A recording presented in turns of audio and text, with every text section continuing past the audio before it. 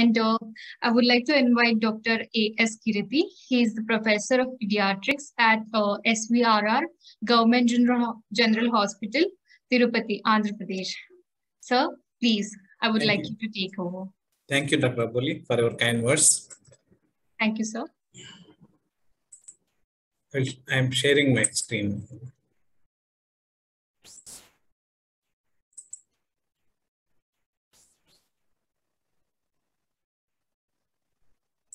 So is, is it is it visible? Yes. Yes, sir, it is visible. What about my voice? Is it right? What about my Uh, voice? Yes, sir, your voice is also fine. Thank you. Thank you. So good afternoon, all who are present in the uh, webinar. Today is my topic is neonatal shock. By hearing the word shock, don't be shocked because it is simple, very lucid, very uh, very easy to manage a neonatal shock. Okay, so let us see so there is one case scenario I, am going to give to you. There is a five days old baby by name Devi. Weight is 2.2 kilograms. Is admitted in SNCU with the following um, symptomatology: with refusal of feeds, fast breathing, skin mottling, cold extremities, poor peripheral pulses, capillary refill time of five seconds. So what do you think of, suppose if a case came with this uh, symptomatology, what do, what do you think of? You can chart in the chart box.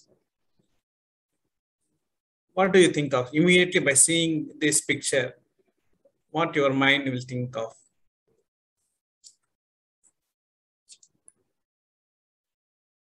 So what is your provisional diagnosis? It is nothing but shock. Very good.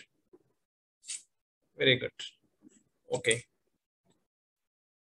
So what main objective of this class is at the end of this session, you're able to identify the shock, various types of shock, you're able to easily identify the shock and you can enumerate the various different causes of shock in new- newborn and uh, how to give fluid resuscitation and uh, when to use vasopressor, that is inotropes, and how to calculate the dose and how to give.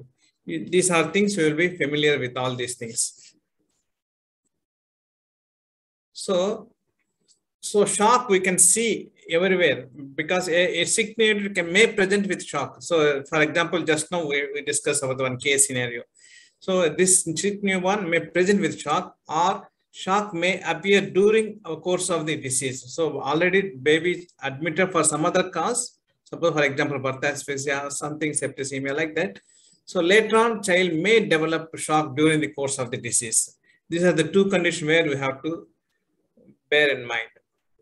Though how the how best we can manage the shock, it all depends on early diagnosis, early diagnosis of the shock and prompt and appropriate management of the shock. We can save many lives. So by definition, what is shock? It is a poor perfusion of body tissues. It in it the perfusion means the blood supply to the body tissues are hampered, decreased. So when once the perfusion is decreased and um, tissues require more oxygen, no. So because of perfusion decrease, oxygen supply to the tissues is decreased, and nutrients are not met because the nutrients to the cells will be uh, will be through blood supply, no. So there is blood supply is decreased, so nutrients also decrease. At the same time, metabolic components, the every day, every minute, uh, the metabolism will be occurring in the cells that that produce um, end products. Uh, so those things also will will uh, will absorb by the blood. No, so those things also hampered. So that causes that results. So wherever there is a poor perfusion, oxygen demand will be more, and nutrient nutrients to be uh, supplied to the tissues are decreased, result in tissue hypoxia. So once there is tissue, hypoxia, metabolism will usually meta for metabolism, oxygen is required. So without oxygen, you will get anaerobic metabolism. That is without oxygen also the metabolism will occur.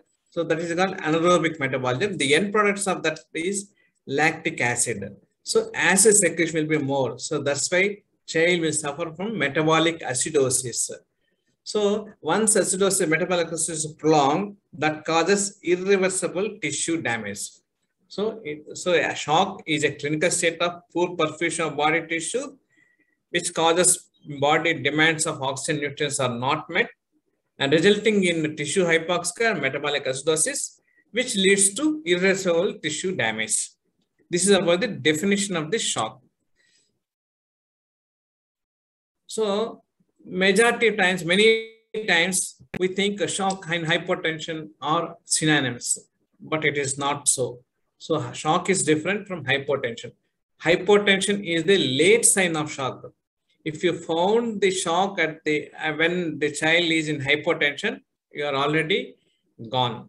The child is already gone. So we we miss the crucial time, precious time, where we can reverse the shock. So we should not wait till the baby go to the hypotension. So hypotension is, uh, is there is one uh, column is there here.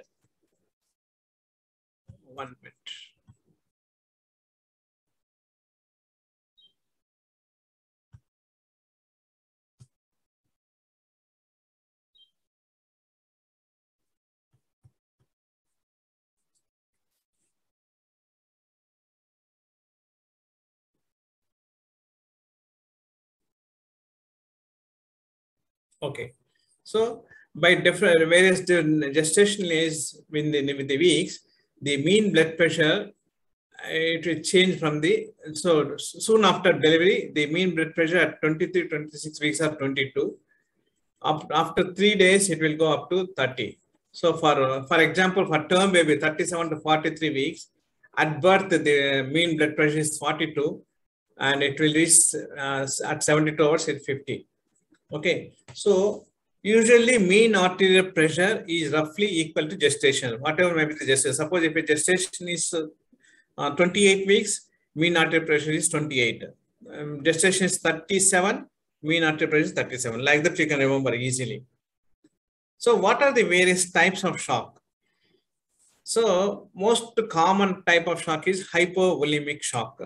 So here there will be either blood loss or fluid loss. So blood loss is due to fetal-maternal hemorrhage or twin-to-twin transfusion.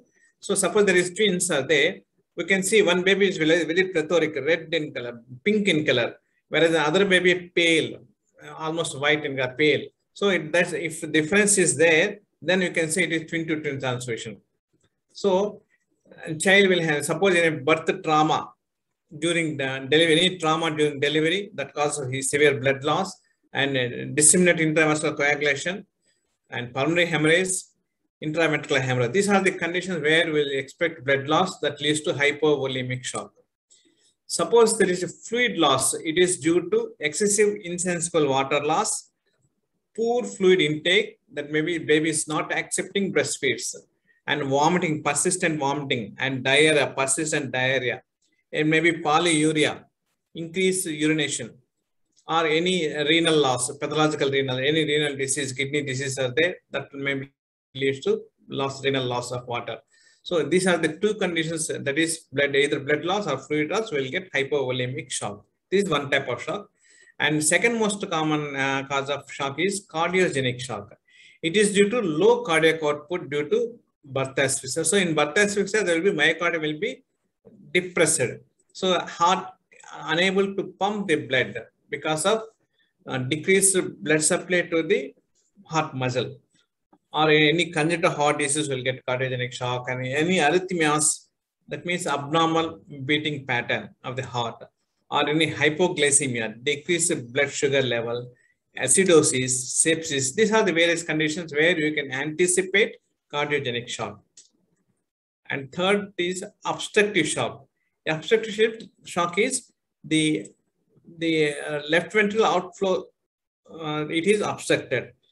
Either so heart uh, heart is functioning is normal but the amount the blood amount of blood that is ejecting from the um, heart is obstructed by some other conditions like for example aortic stenosis coarctation of aorta tension pneumothorax pericardial tamponade and uh, these are the causes for obstructive shock or sometimes if suppose if a child is on a ventilator if you give the more people, PEEP, peak end expiratory wall, so if you, if you give more PEEP, so, so that the all lungs will be expanded, hyperinflation of lungs can occur, that compresses the inferior vena cava, they, they compresses the uh, venous return to the heart.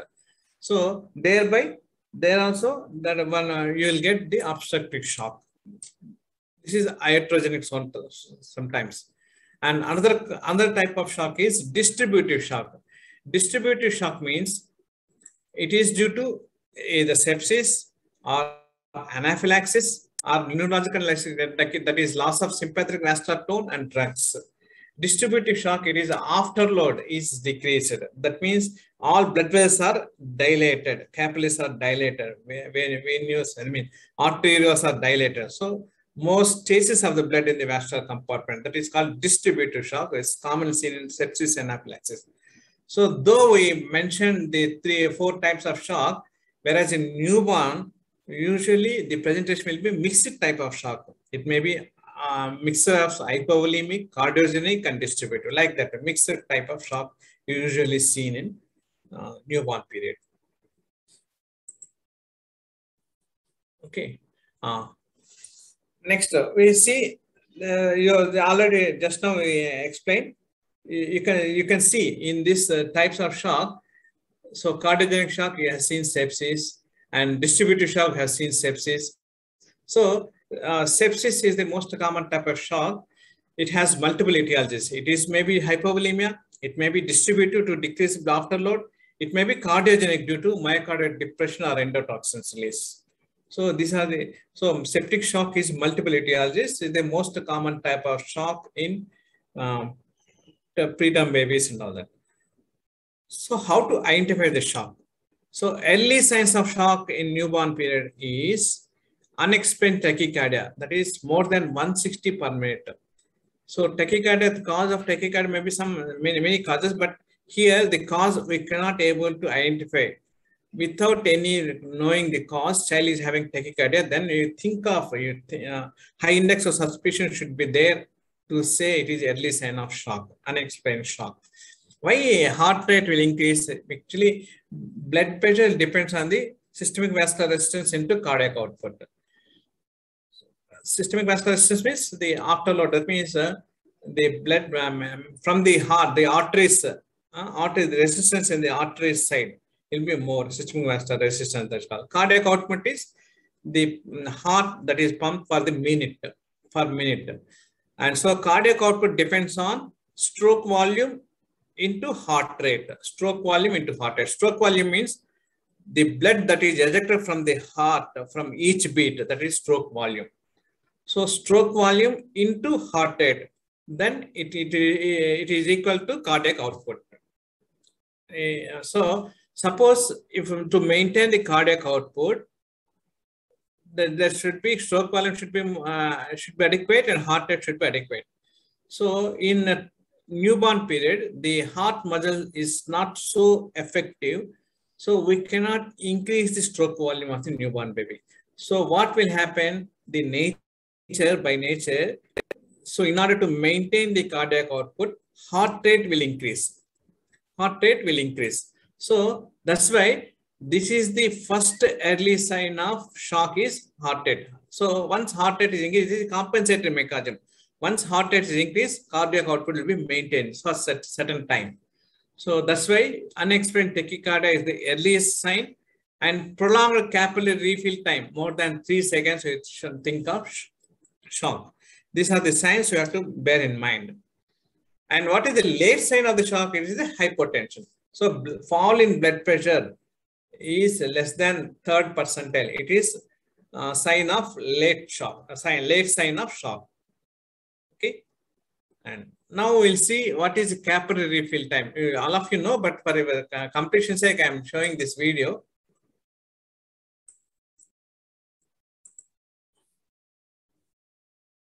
See, so we have to by five seconds of pressure on sternum. Here, this is normal at around two seconds. So we have to check the capillary refill time over the chest. Usually most common site over the chest And we can also, we can check the capillary filling time over the forehead also, but preferably over the chest, now over the sternum. So we have to apply three to five second pressure for the three to five seconds. So that causes blanching of blanching. So soon after re removing the finger, the blanch will become refills with the blood. How much time it will take to refill? It is nothing but capillary filling time. It's usually less than three seconds in normal newborn. If prolonged more than three seconds, then it indicates poor circulation and poor tissue perfusion. But uh, sometimes in hypothermic babies also we'll have, we cannot delay. Suppose child is in hypothermia, we cannot rely on the capillary filling time. Okay. Next, what are the others? One is have seen unexplained tachycardia. Second one is capillary filling time, more than three seconds. Other clinical features of shock are weak or poor peripheral pulses. If you find it is very difficult to locate the peripheral pulses, that is means radial and posterior pulsations, and uh, in child will be pale and mottling of the skin, that is a reticular pattern of the mottling of the skin will be seen and cold extremities. Extremities will be cool when compared to the trunk. And decrease urine output. Urine output, see the urine output, urine output will be decreased. And child will be lethargic, obtundation. That is, child will be dull looking. And if you it a low blood pressure, it is a late sign, low blood pressure. This is order of occurrence of the signs in shock. So low blood pressure is a late sign of shock and mottled skin and prolonged CRT can be seen in hypothermia. Hence, one must rule out hypothermia.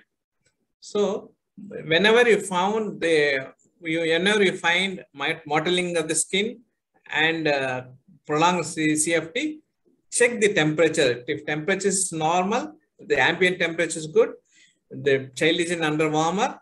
If you have under warmer, if you found tachycardia and capillary filling prolonged, then you think of shock. Otherwise, you, you have to rule out hypothermia first and how to manage.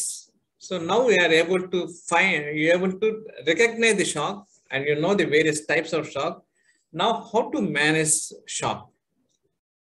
So most majority times you can start with a supportive management like maintain TABC. What is T? T stands for temperature, A stands for airway, B stands for breathing, and C stands for circulation. So we have to maintain TABC. So put under the warmer, check the whether airway is uh, patent and uh, you connect to the oxygen and any, um, uh, you have to get this vascular access and uh, proceed for the further management. Suppose if, if, if there is hypoxia, so um, how to know the hypoxia by pulse oximeter? If check whether pulse oximeter is in between, saturation is in between 91 to 95%. If it is less, then you can give oxygen, supplement the oxygen. Check the blood glucose level. If it is more than 45, you have to maintain the blood sugar more than 45.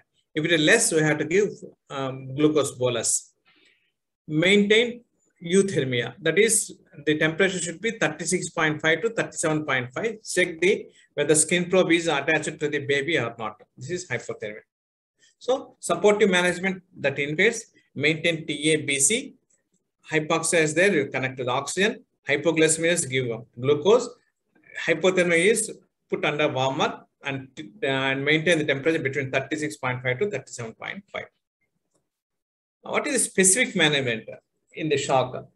The specific management, first step is restoration of the perfusion by fluid resuscitation.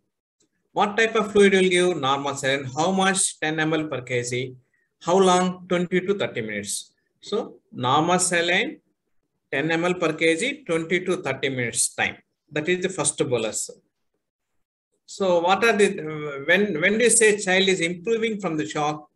So previously uh, capillary filling time is more than three seconds. Now it is below three seconds and heart rate previously is 160 per more than 160 now it is drop in the heart rate in 10 beats per minute so 10 beats per minute drop drop then it is signs of improvement and uh, check the pulse volume or the um, uh, or the great wedges that is um, um, large vessels, that is femorals or brachials. Femorals, we have to check by you put your hand like this uh, on the thighs, in mid midpoint of the thigh, you can see the femoral pulsation. Or for brachials, medial side of the arm, you have to see pulsation that is brachial pulse.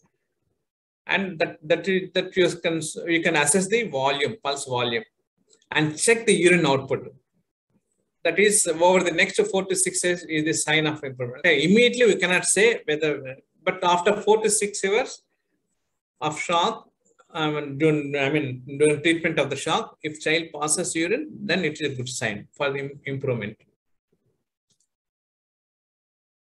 If there is no improvement or partial improvement, that means persistent tachycardia, no fall of 10 beats per minute, and capillary filling time persistently about three seconds. Then you can repeat the bolus, fluid bolus again, second bolus you can give, same 10 ml per kg for 20 to 30 minutes, second bolus. So, so fluid resuscitation is this part. And when to start inotropes, that is vasopressors, when to start?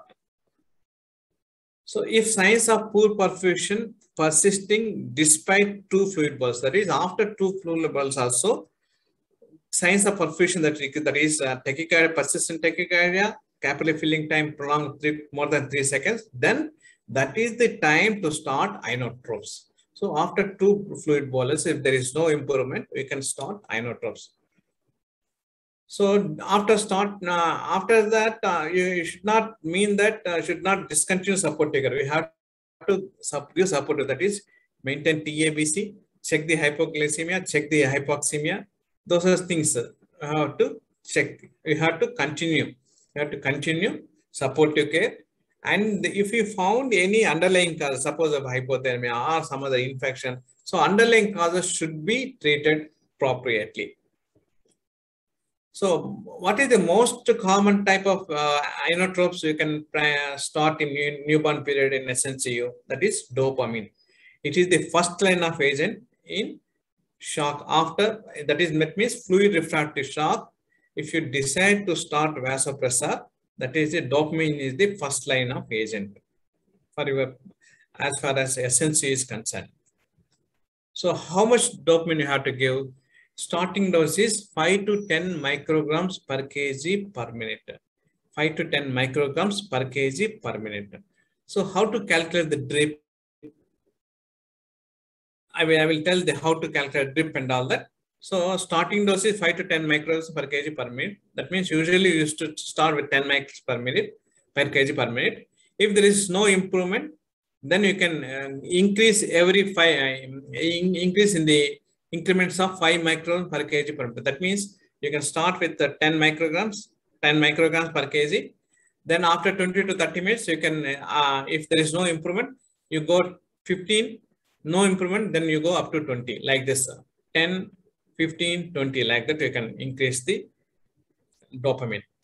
So how to calculate how to dopamine drip? That means 1 ml of dopamine contains 40 milligrams of um, 1 ml of a vial that solution contains 40 milligrams of dopamine, dopamine injection. Yeah, all of, all of you know, I think so. So if suppose a baby is 2.5 kilograms, uh, 2.5 kilogram and what is starting dose of dopamine? I told you 10 micrograms per kg per minute. 10 microgram per kg. So, so 2.5 milligrams, that is a weight and dose is 10 micrograms. 10 microgram per kg means 2.5. So per minute, how much it comes? 25 micrograms per minute. Okay, this is dose.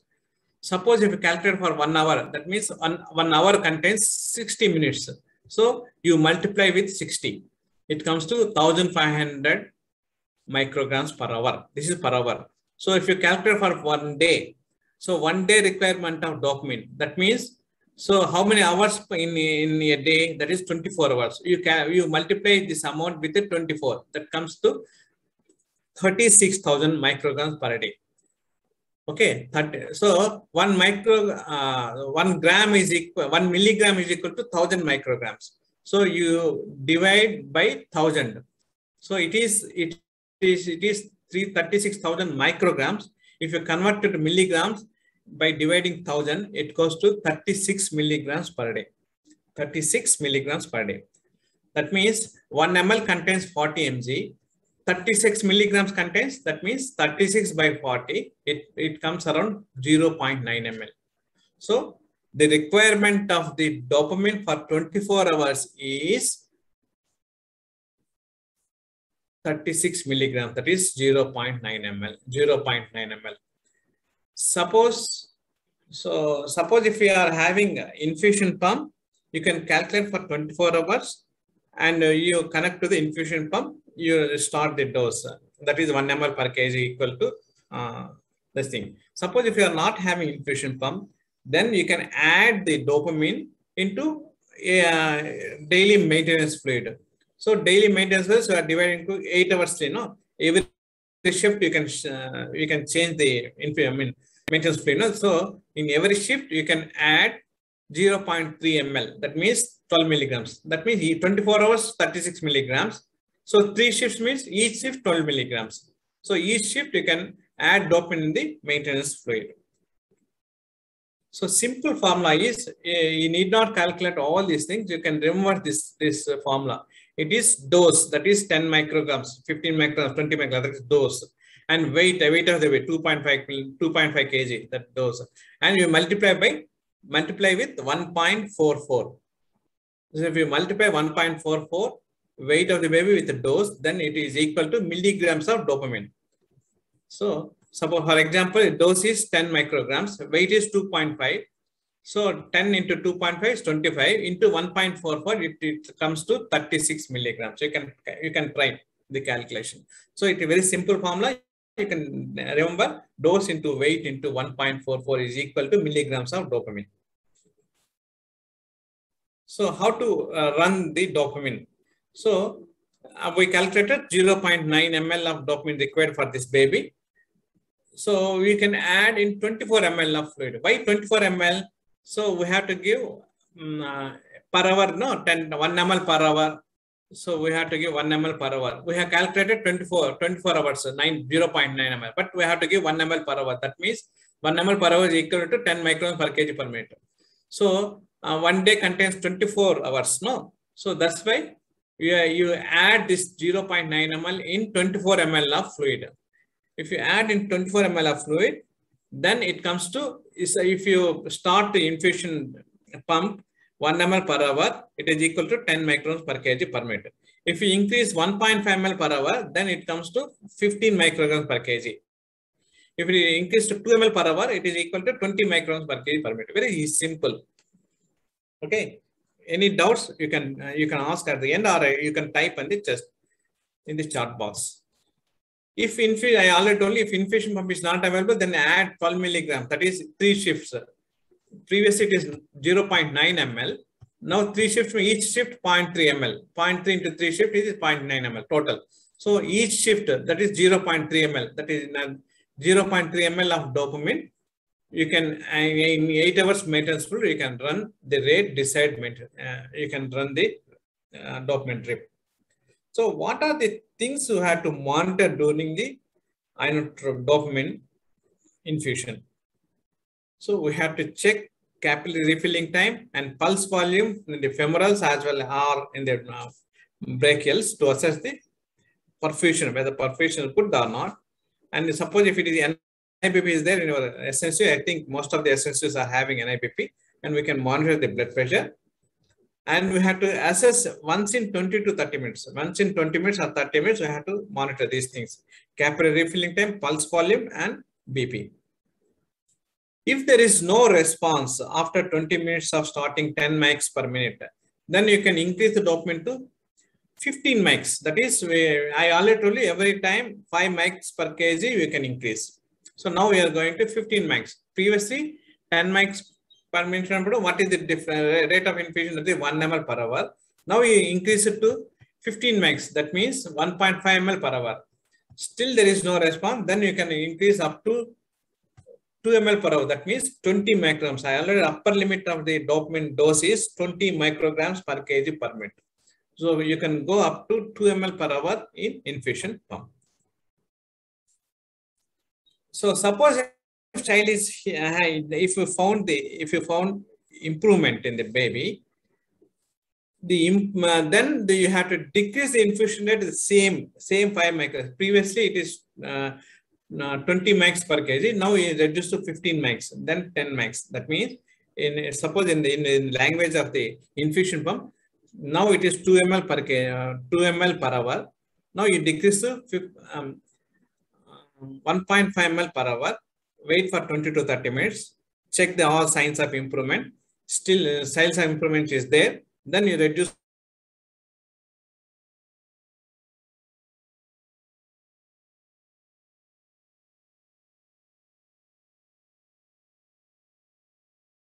infusion. You have to allow the uh, uh, the dopamine to act for wait for 30, 20 to 30 minutes for reassessment if despite dopamine that is uh, child uh, child uh, we increase the dopamine to up to 20 mics per kg but there is no improvement in the shock still capillary filling time prolonged pulse volume is low then you can add dobutamine at that juncture. Uh, for you i can add the dobutamine at this juncture. If the dosage is similar to the dopamine same thing 10 mics 15 max 20 mics so you can start with 5 to 10 max. You can increase every five uh, every 15 to 20, 20 to 30 minutes. There is no response then you go for 15 no response you go to up to 20 if style is improved then you can reduce 5 max per minute therefore think same thing. And so what is the advantage of the dobutamine? It improves the cardiac output.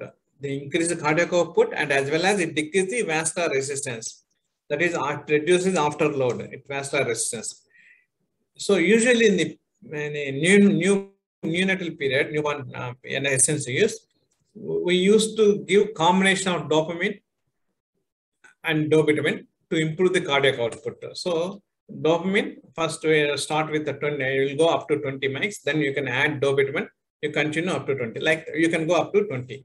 So combination you can use. So it is also use the dobutamine also decrease the peripheral resistance in asphyxia so because I told you asphyxia, myocardial contractility will be decreased. So if if child if if you find if you found the shock in uh, birth asphyxia case, first line of inotropy is. Other than that, sepsis and all that, the dopamine is the first line of inotrope.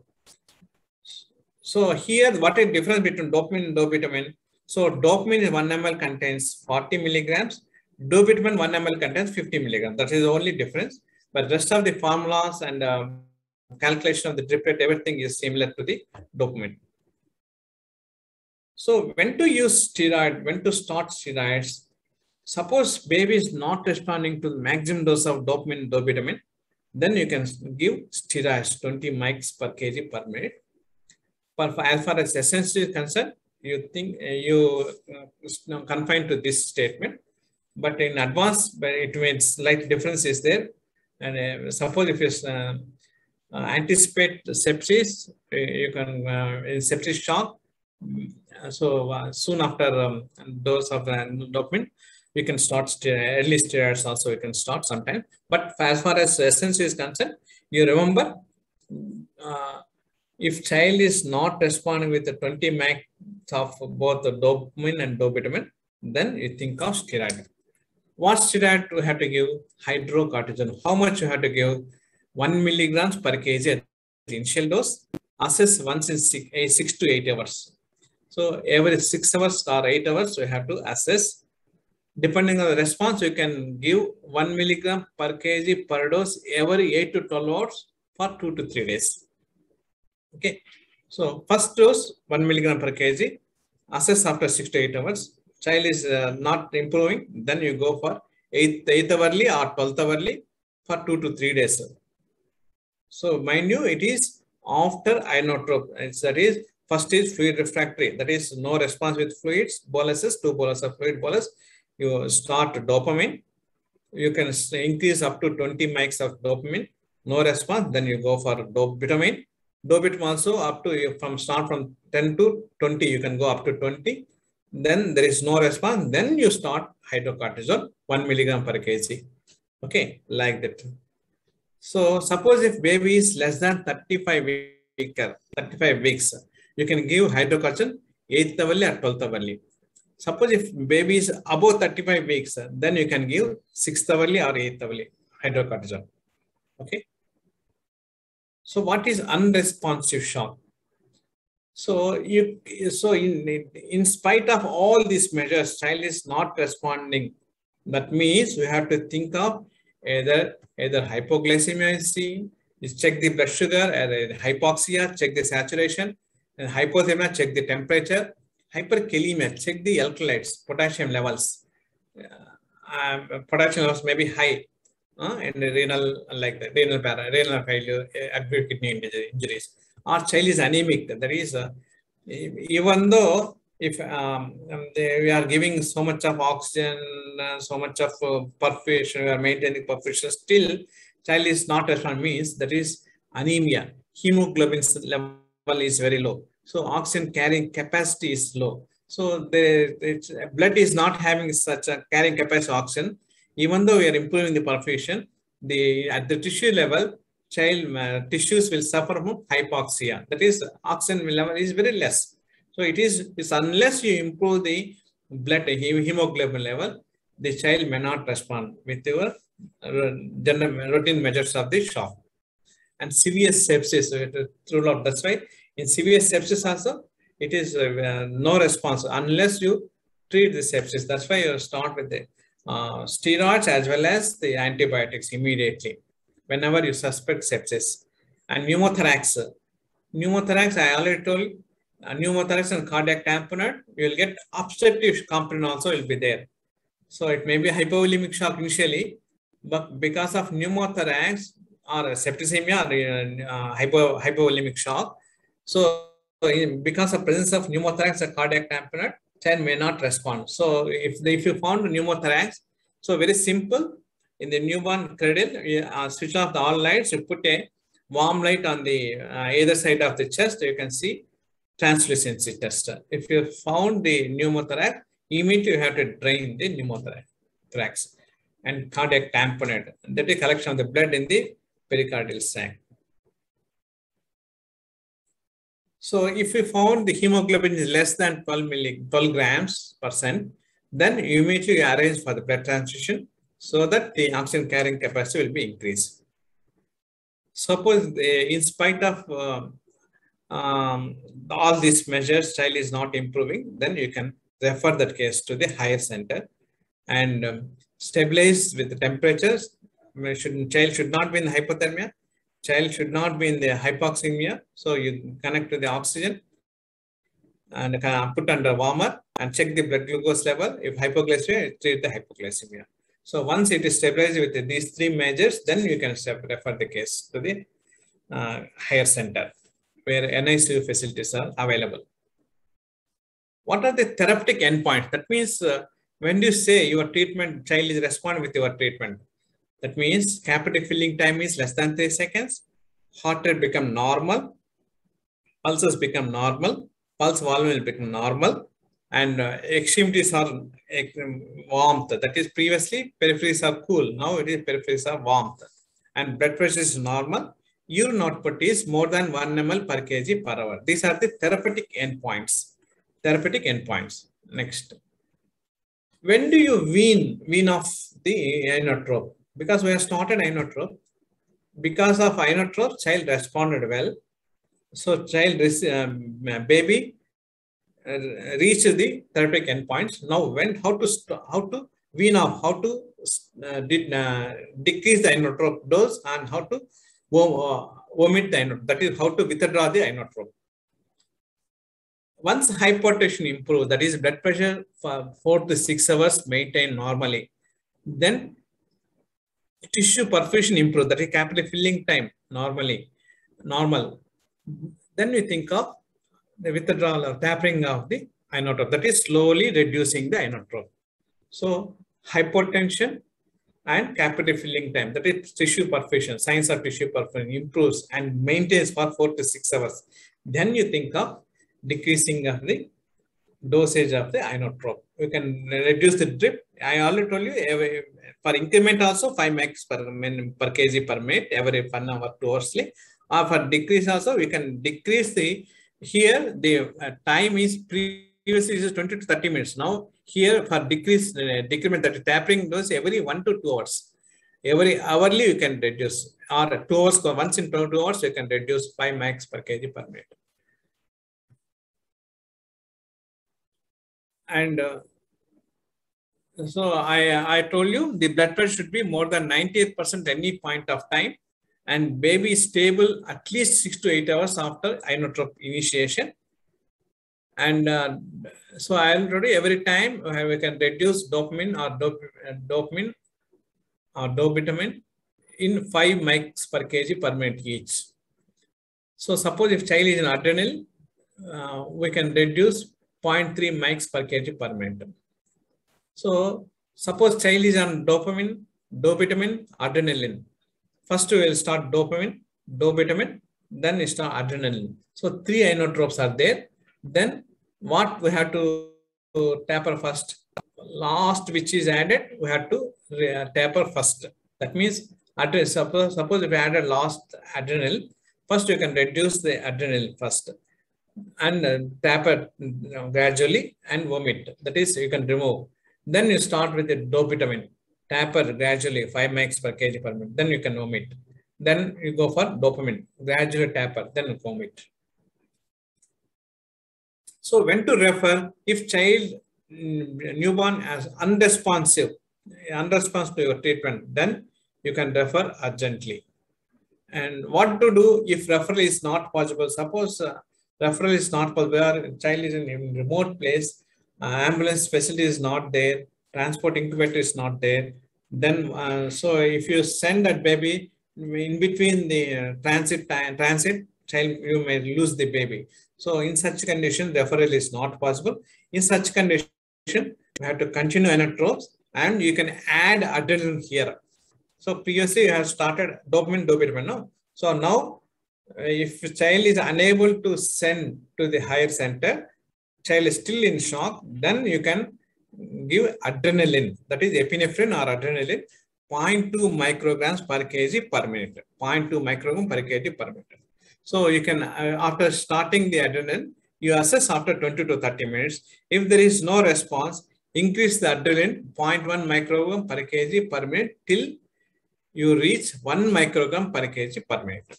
So it's very easy. Adrenaline 0.2 micrograms, you can start. You can increase every 0.1 microgram till it reaches the 1 microgram per kg per meter. So during this period also, you have to continue the support supportive that TABC, hypoxemia, hypo, hypothermia, you have to check out, check, and uh, we have to think of any hypoglycemia also. These are the supportive we have to continue. So this is the monitoring chart. I think it is there in our SNCU manual and FBNC manual. So where the first column is uh, uh, here, time, that is at admission, at 2 hours, 4 hours, 6 hours, 8 hours, like that. This is hours we had mentioned. And here, these parameters are temperature, we have to monitor, heart rate, respiratory rate, SpO2, that is saturation, capillary refill time, mean blood pressure, and urine output, eighth level you have to mention. And Downey score, term uh, respiratory score, you can put Downey score. Levene score, it is uh, HIE scoring. And blood glucose, you have to mention serum electrolytes and serum calcium, blood urea and creatinine. These are things, this is the monitoring chart in SHOCK. So what are the key messages? So monitor all sick newborns for early signs of shock. So whatever may be the baby admitted for, uh, for some other cause also, you have to check for early signs of shock. That what are the early signs of shock? Unexplained tachycardia, capillary filling. These are things, these are two things constantly you have to monitor in all sick babies. Anytime child may go to shock. Once you identify the shock, start treatment immediately and give supportive care that is TABC hypo, hypoxemia, hypoglycemia, and hypothermia. These are things, things you have to think of. You have to see supportive care. And uh, after giving supporting care, immediately start fluid uh, resuscitation, that is normal saline, normal saline, um, fluid bolus, and inotrope for the first, first bolus, check, and second bolus. If there is no response, you start inotrope, that is dopamine. Uh, you can start with 10 mics, gradually increase 5 micron per, uh, every 20 to 30 minutes till you reach the 20 mics. If there is no response, you start dobutamine, start with 10 mics. After 20 to 30 minutes of reassessment, you assess 20 to 30 minutes, once in 20 to 30 minutes, increase to 15, again check, you go up to, you can go up to 20 mics. Then there is um, there is no response with the two inotropes, then you think of uh, you start hydrocortisone. It, um, you can start initially, you can assess after eight hours. There is no, no response, you can go eight to eight hourly or 12 hourly uh, for two to three days. If uh, this is the time to send the baby to the higher center. So after starting the hydrocortisone, if the child is not responding first dose, initial dose, you can plan for shifting of the baby. So if it is unable to shift the baby, then you consider uh, adrenaline here, adrenaline. You can start with 0.1 microgram. gradually, you can increase and till you get the 1 microgram per kg per minute. If there is improvement, therapeutic endpoints I already told. So you can gradually decrease the inotropes. Last one which added, we have to tamper first and gradually until uh, the last thing to tamper is the dopamine. Okay. Uh, so this is this is about um, uh, shock in the newborn and in your facility you can yourself you can assess whether you are um, going in right way or not for um, for monitoring purpose quality quality improvement in your facility you, can you can assess yourself that is how many babies developing shock during the hospital stay and how many babies requiring inotrope support and how many babies successfully managed for shock and how many babies referred for management of shock. So if you pose these four questions to yourself and you can improve the quality uh, care in your facility. Thank you, Dr. Aboli. I completed. Uh, thank you so much, sir.